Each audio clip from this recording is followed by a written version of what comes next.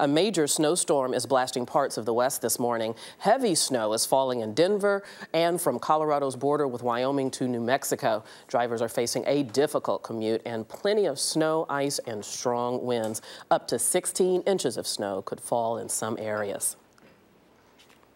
I uh, just came off of the road too fast and the tires couldn't grip anything and slid right off. And now I'm trying to undo it. The snow has forced the cancellation of more than three dozen flights out of Denver International this morning.